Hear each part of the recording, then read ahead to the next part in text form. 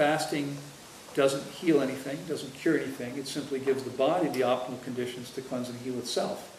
So while there are, you know, perhaps some conditions that aren't going to heal ever, that aren't maybe incurable, I don't think that's true for most of the time.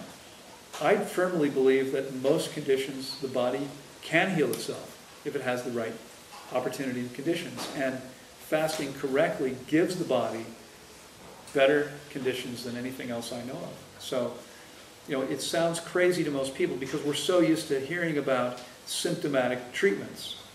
We do this for that thing, we do this for that, we do this over here if you've got that condition. And, and you wouldn't you wouldn't trade those things. This is particularly designed to give you relief if you have hypertension. This is particularly designed to give you relief if you have lower GI tract problems. And this is particularly designed to provide relief for arthritis. But here we're talking about something that's not about symptomatic relief. It's simply about giving the body the optimal conditions to cleanse and heal, regardless of what's going on. So it's going to be much more across the board true that if the body can heal, it's going to heal more efficiently and effectively, fast and properly, than virtually anything else, anything else I know. And there may be something else, but I don't know what it is.